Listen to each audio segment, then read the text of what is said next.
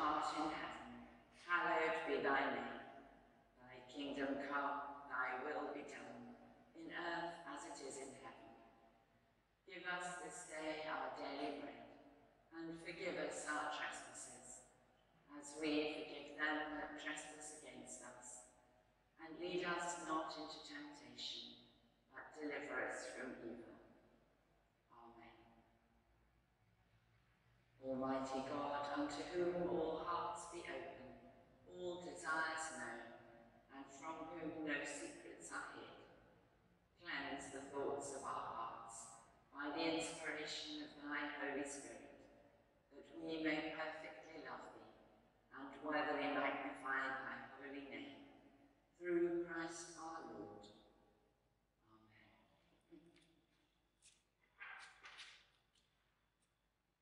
Amen. Our Lord Jesus Christ said, Hear, O Israel, the Lord our God is one Lord, and thou shalt love the Lord thy God with all thy heart, and with all thy soul, and with all thy mind, and with all thy strength. This is the first commandment. And the second is like, namely this, Thou shalt love thy neighbour as thyself. There is none other commandment greater than these. On these two commandments. Hang all the law and the prophets. Lord, have mercy upon us, and write all these thy laws in our hearts, we beseech thee.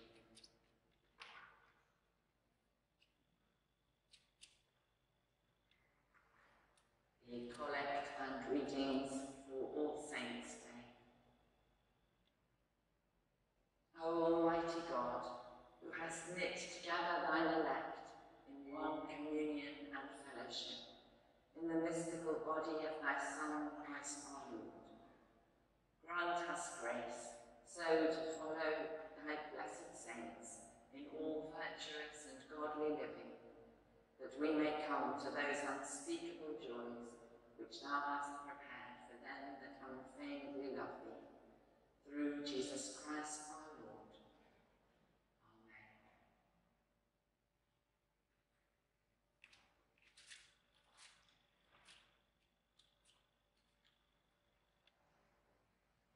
The lesson is written in the seventh chapter of the book of Revelation, beginning at the second verse. I saw another angel ascending from the east, having the seal of the living God. And he cried with a loud voice to the four angels to whom it was given to hurt the earth and the sea, saying, Hurt not the earth, neither the sea nor the trees, till we have sealed the servants of our God in their foreheads. And I heard the number of them which were sealed, and there were sealed an hundred and forty-four thousand of all the tribes of the children of Israel. Of the tribe of Judah were sealed twelve thousand. Of the tribe of Reuben were sealed twelve thousand. Of the tribe of Gad were sealed twelve thousand. Of the tribe of Asher were sealed twelve thousand. Of the tribe of Naphtali were sealed twelve thousand. Of the tribe of Manasseh were sealed twelve thousand. Of the tribe of Simeon were sealed twelve thousand. Of the tribe of Levi were sealed twelve thousand. Of the tribe of Issachar were sealed twelve thousand. Of the tribe of Zebulun were sealed twelve thousand. Of the tribe of Joseph were sealed twelve thousand. And of the tribe of Benjamin were sealed twelve thousand. After this I beheld, and lo, a great multitude which no man could number, of all nations and kindreds and peoples and tongues, stood before the throne and before the Lamb, clothed with white robes, with palms in their hands, and cried with a loud voice, saying, Salvation to our God, which sitteth upon the throne, unto the Lamb. And all the angels stood round about the throne, and about the elders, and the four living creatures, and fell before the throne on their faces, and worshipped God, saying, Amen. Blessing and glory and wisdom and thanksgiving and honour and power and might be unto our God forever and ever. Amen. Endeth the lesson.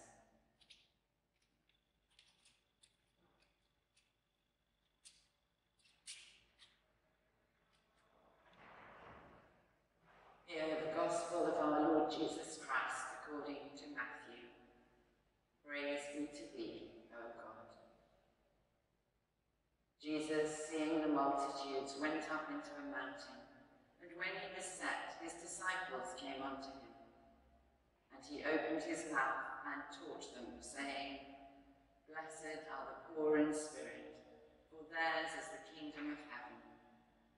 Blessed are they that mourn, for they shall be comforted. Blessed are the meek, for they shall inherit the earth. Blessed are they which do hunger and thirst after righteousness, for they shall be filled. Blessed are the merciful, they shall obtain mercy. Blessed are the pure in heart, for they shall see God. Blessed are the peacemakers, for they shall be called the children of God. Blessed are they which are persecuted for righteousness' sake, for theirs is the kingdom of heaven. Blessed are ye when men shall revile you and shall say all manner of evil against you falsely for my sake. Rejoice and be exceeding glad, for great in your reward is your reward in heaven. For so persecuted they the prophets which were before you. The Gospel of the Lord. Praise be to thee, O Christ.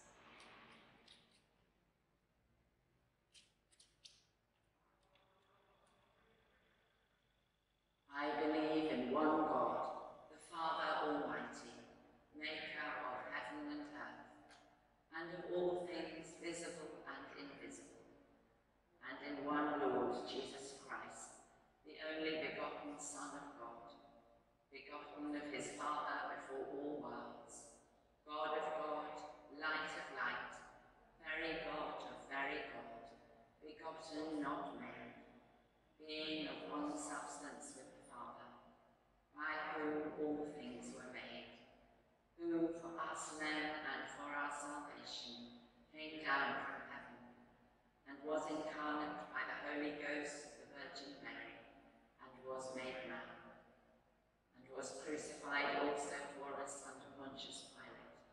He suffered and was buried, and the third day he rose again, according to the Scriptures, and ascended into heaven, and sitteth on the right hand of the Father. And he shall come again with glory to judge both the quick and the dead, whose kingdom shall have no end. And I believe in the Holy Ghost, the Lord and giver of life, who proceedeth from the Father and the Son, who with the Father and the Son together is worshipped and glorified, who spake by the prophets. I believe one Catholic and Apostolic Church. I acknowledge one baptism for the remission of sins, and I look for the resurrection of the dead and the life of the world to come. Amen.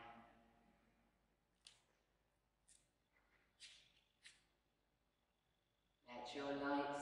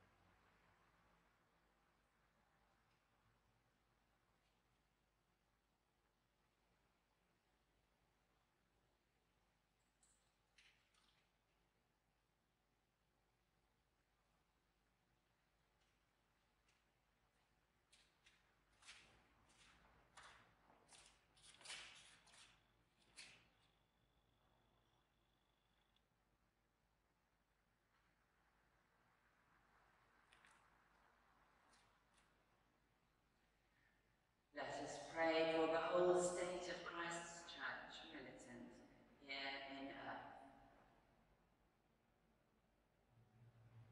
Heavenly Father, we come before you at the news of a second lockdown.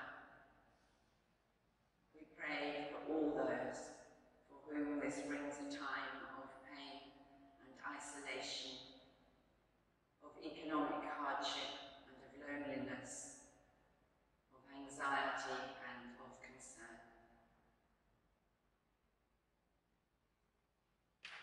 We hold before you those in authority, charged with making decisions and with executing them.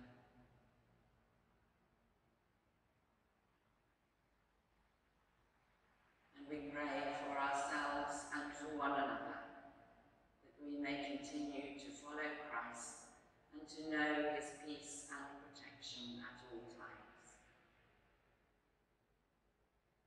Almighty and ever-living God, who by thy holy apostle hast taught us to make prayers and supplications and to give thanks for all men, we humbly beseech thee most mercifully to accept our alms and oblations and to receive these our prayers, which we offer unto thy divine majesty, beseeching thee to inspire continually the universal church with the spirit of truth, unity and concord. And grant that all they that do confess thy holy name may agree in the truth of thy holy word and live in unity and godly love. We beseech thee also to save and defend all Christian kings, princes and governors, and specially thy servant Elizabeth our Queen, that under her we may be godly and quietly governed. And grant unto her whole council, to all that are put in authority under her, that they may truly and indifferently minister justice, to the punishment of wickedness and vice, and to the maintenance of thy true religion and virtue.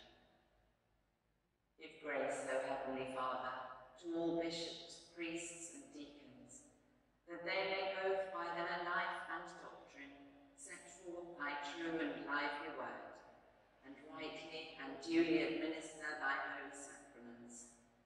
And to all thy people give thy heavenly grace, and specially to this congregation here present, that with meek heart and due reverence they may hear and receive thy holy word, truly serving thee in holiness and righteousness all the days of their life.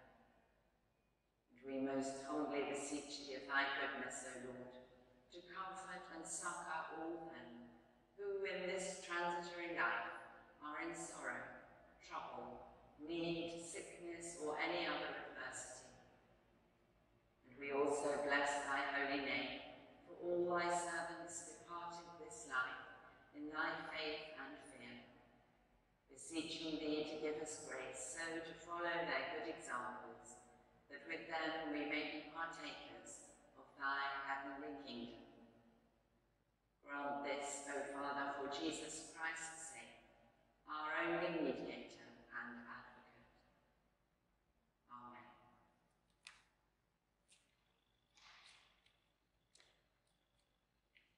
Ye that do truly and earnestly repent you of your sins, and are in love and charity with your neighbours, and intend to lead a new life, following the commandments of God, and walking from henceforth in his holy ways, draw near with faith, and take this holy sacrament to your comfort, and make your humble confession to Almighty God, meekly kneeling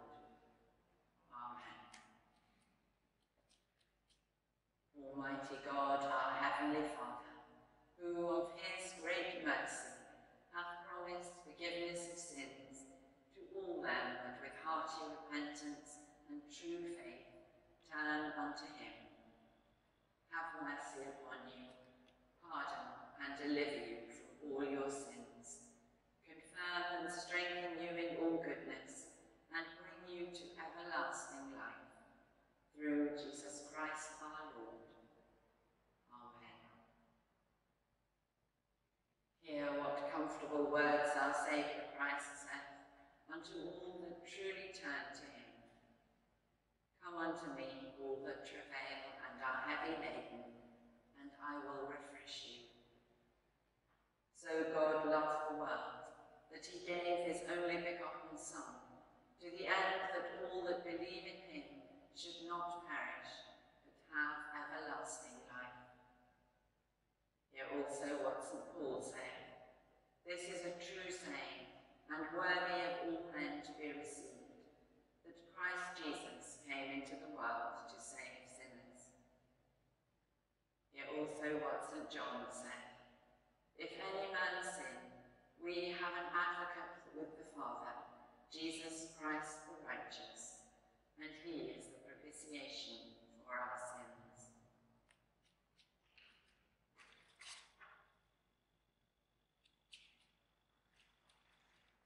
The Lord be with you. Lift up your hearts. Let us give thanks unto our Lord God.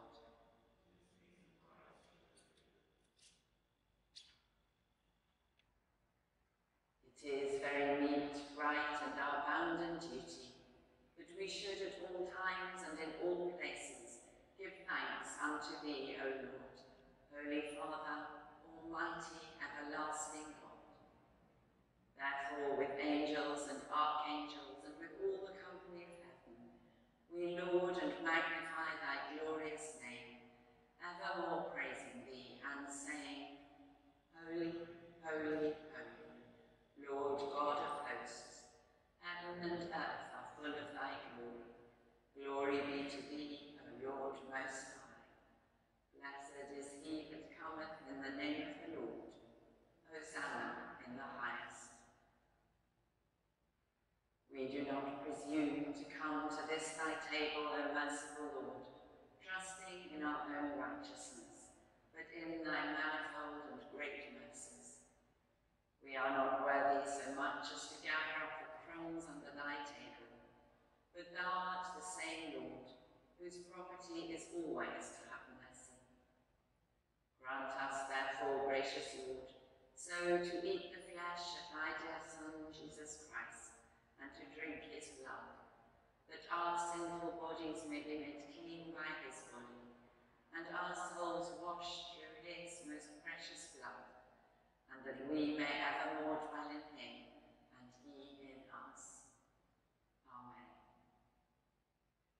Almighty God, our heavenly Father, who of thy tender mercy didst give thine only Son, Jesus Christ, to suffer death upon the cross for our redemption, who made there by his one oblation of himself once offered, a full, perfect, and sufficient sacrifice, oblation, and satisfaction for the sins of the whole world, and did institute, and in his holy gospel command us to continue a perpetual memory of that his precious death until his coming again. Hear us, O merciful Father, we most humbly beseech thee, and grant that we, receiving these thy creatures of bread and wine, according to thy Son, our Saviour Jesus Christ's holy institution, in remembrance of his death and passion, may be partakers of his most blessed body and blood. Who in the same night that he was betrayed took bread, and when he had given thanks, he brake it, and gave it to his disciples, saying, Take, eat. This is my body, which is given for you. Do this in remembrance of me.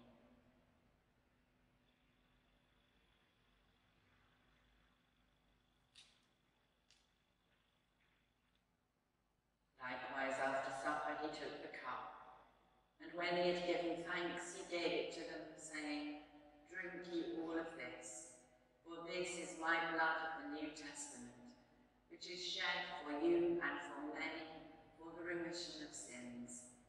Do this as oft as ye shall drink it, in remembrance of me. Amen.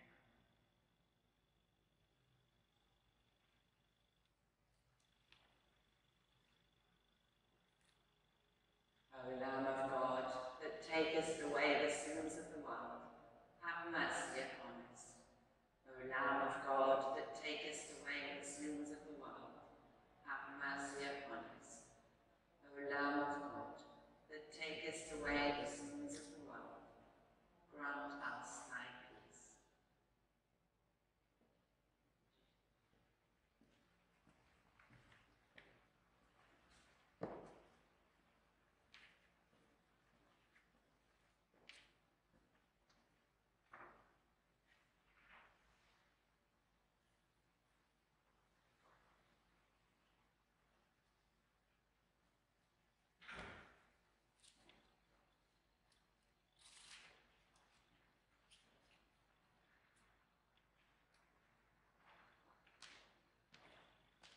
body of our Lord Jesus Christ, which was given for thee, preserve thy body and soul unto everlasting life.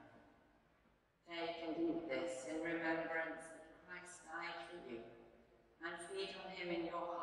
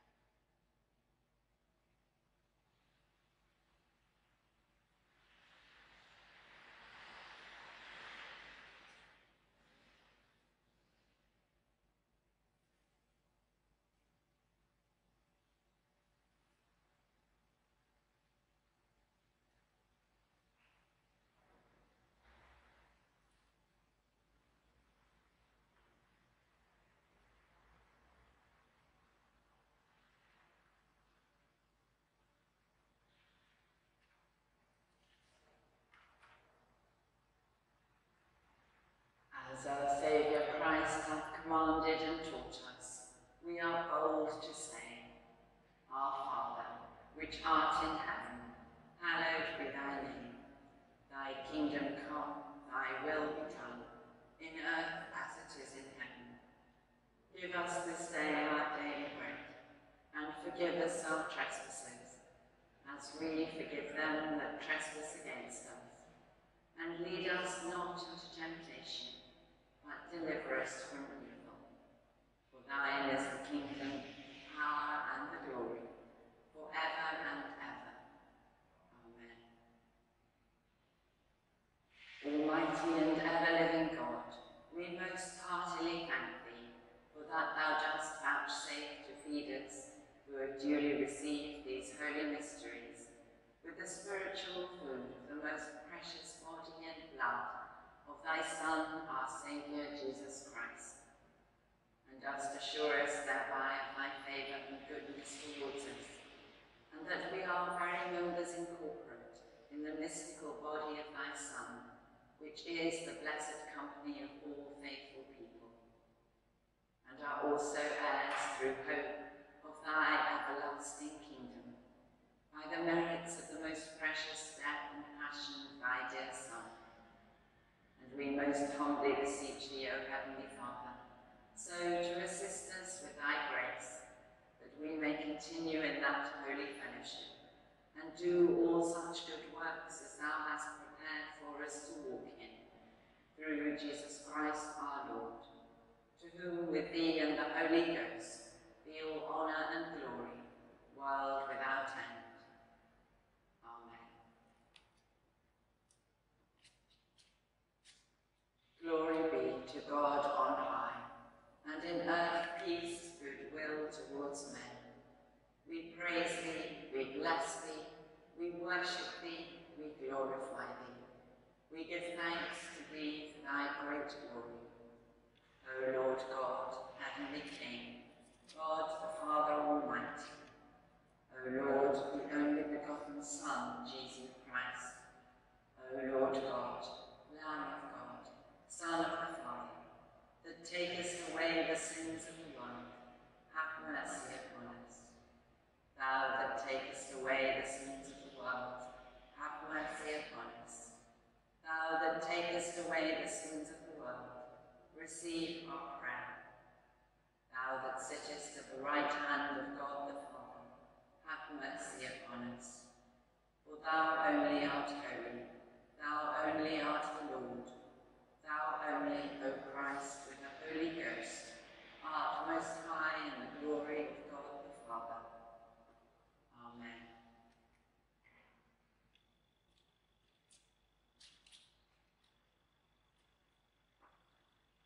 You will, of course, have heard about the new lockdown to begin on Thursday. What is not yet so clear is what is expected of churches. Uh, some people are reporting that churches will be open for private prayer but not for public worship. But the Church of England website is asking us to wait for a final decision. Uh, should the church be closed next week, or at least uh, should there be no public worship, there will of course be a service online. If you don't have access to the internet, please get in touch with us and we can at the very least post you newsletters and sermons uh, and other information.